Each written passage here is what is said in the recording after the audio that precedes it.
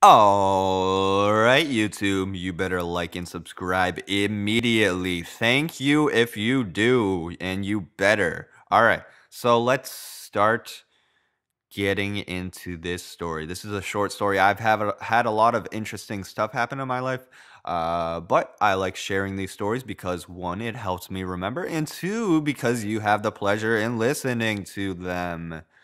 All right, so this is about the time this happened a few months ago or so. It was after I came back from Aruba. I had vacation in Aruba for about 10 days and it was splendid. That was about the fourth or fifth time of me going there. I have relatives that live there. They're originally from Venezuela, but it's too dangerous to live there now. So that's why they moved to Aruba. So, uh, what happened was I here and there have nosebleeds, right? Uh, that started up probably a few years ago. Um, and nosebleeds, very, very rarely. I don't think it really ever happens to me when it's not the winter. But when it's the winter, it here and there happens to me. And here and there, those nosebleeds happen to be very, very bloody and very, very difficult to contain. It's not like I can contain it with my fingers. Absolutely not. I need something to contain that.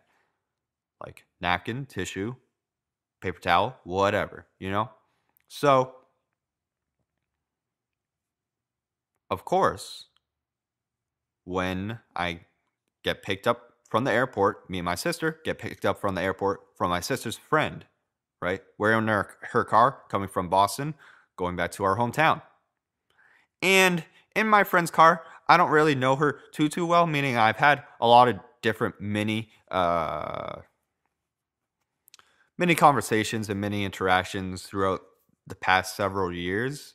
So I mean like I know her well in the sense I've known her for a long time, but I haven't like had extensive conversation or extensive contact or whatever. Uh, but it, it meaning the point is it's weird when having weird situations uh, that are around people you don't really know too well, right? So I started having a nosebleed like mid car ride. And I said, Oh, I, I need a I need something quick because I have a nosebleed.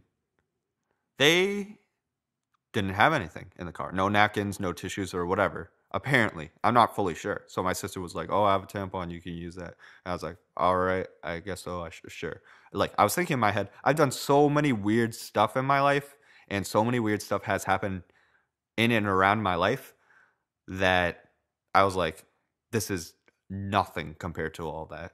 So I decided to do that. And you know what? It actually worked really well. It worked significantly better than whenever I've used tissue paper, toilet paper, uh, napkins, this, that, this, that.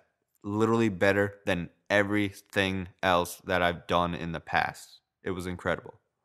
So, moral of the story if you have a horrible, horrible nosebleed, use a tampon.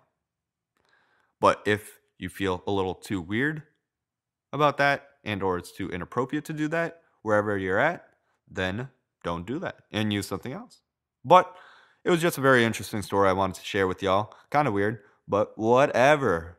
Like and subscribe. Check out my other stories. I've had a lot of weird, interesting stuff happen in my life, right? All right. Thank you. Bye bye.